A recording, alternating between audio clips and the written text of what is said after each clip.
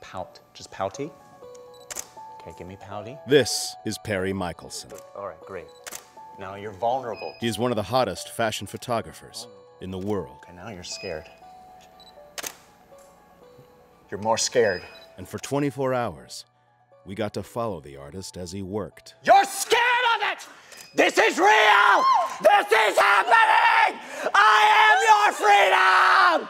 Okay, that's just a quick smile, because this is for cookies. That's it, great. Well, I, have always wanted to be a photographer, but mother didn't approve. She still doesn't. She's always saying things like, uh, these are human beings. You've got to treat them like human beings. You're objectifying these women. And I'm always like, shut up, mom! You're not even alive! But try to explain your job to your mom. I loved her. Photographers I admire, uh, Herb Ritts, Man Ray, Ansel Adams. Did you know that Ansel Adams sexually molested every mountain in Yosemite Park? This is the main shooting area. I've shot all my best stuff here. This is where I did that shot of Miley Cyrus suckling the eel. Uh, over here is where I developed the film and the pictures. And this is the dark room. That's where I keep some of the darkest stuff. Oh, oh, do you guys want to see where I keep the models? It's an old abandoned well. Come on, let's go. We're going out to the well, guys!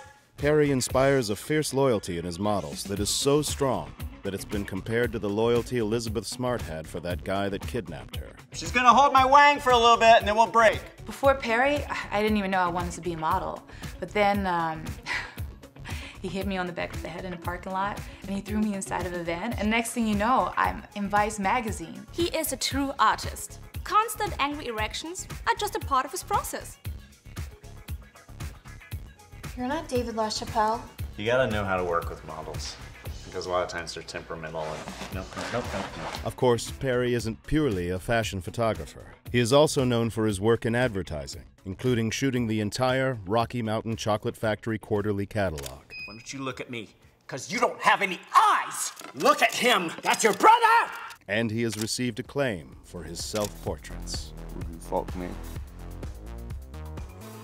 I'd fuck me. Oh, wow. You got a new Facebook page picture. I think what people react to most strongly in my work is the complete lack of human empathy. And sometimes I show a little bush. I mean, as a woman, I find him so It doesn't talk! It doesn't talk when I'm working! That's very... Yes, a lot of people think I'm creepy. I, I don't know why, maybe it's the glasses. But I'm getting to live my dream.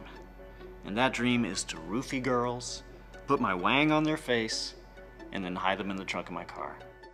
Okay, I'm gonna get a, a fresca real fast.